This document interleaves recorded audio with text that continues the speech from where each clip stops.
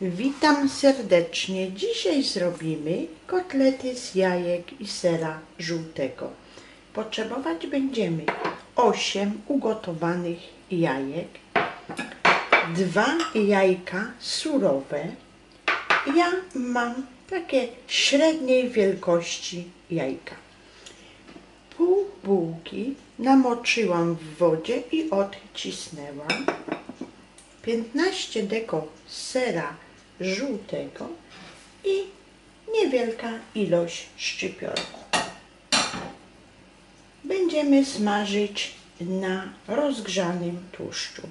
Jajka i ser należy zetrzeć na tarle o dużych oczkach. Doprawimy solą i pieprzem.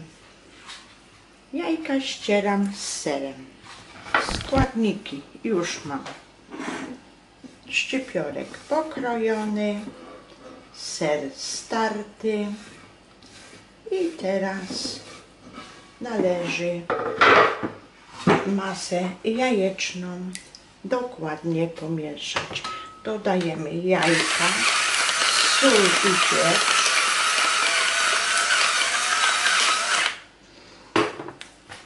I masę jajeczną dokładnie wyrabiamy i będziemy odtaczać w bułce tartej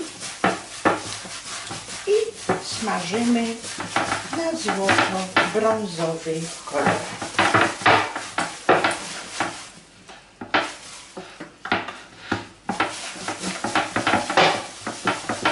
Masa jajeczna musi być dobrze doprawiona tłuszcz rozgrzany.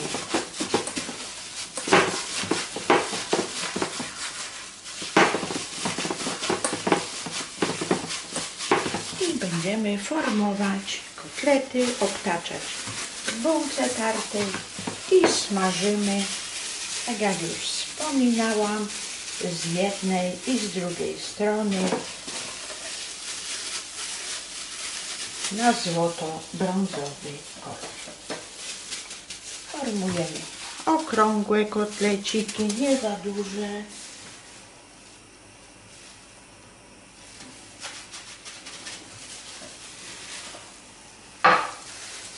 No tłuszcz jeszcze nie mam za bardzo dobrze rozgrzany, ale o, już jest. Zawsze jest miernikiem to, że jeżeli nam zaczyna kwierczeć, świadczy o tym, że już mamy dobrze tłuszcz rozgrzany. I kotlety smażymy.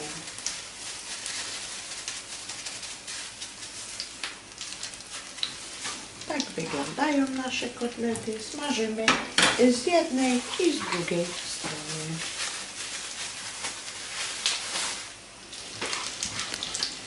I tak oto wyglądają kotlety z jajek i sera żółtego. Zdejmujemy na ręcznik papierowy, aby się pozbyć nadmiaru tłuszczu.